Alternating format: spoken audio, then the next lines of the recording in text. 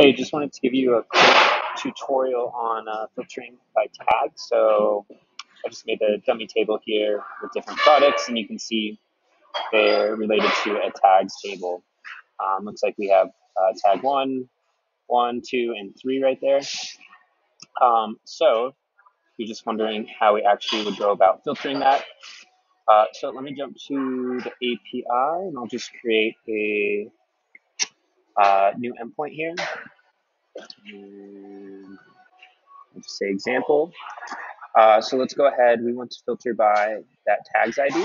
So we'll add a, a tags ID input there. And then let's go ahead and query all the records from our product table. Um, so here in the query all records function, we have this filter tab, uh, which is super powerful. And then we have this by custom query. So if we open this, uh, we can actually add these different where statements.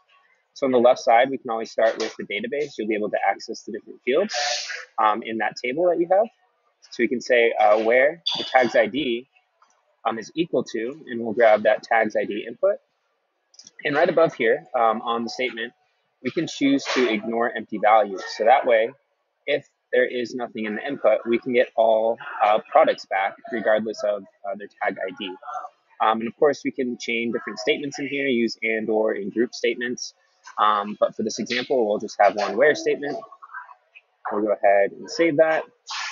Um, and now, for example, if I put in tag ID 1, I think we should get two records back.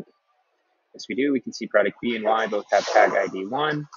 Um, if we put in 2, we just get one product back.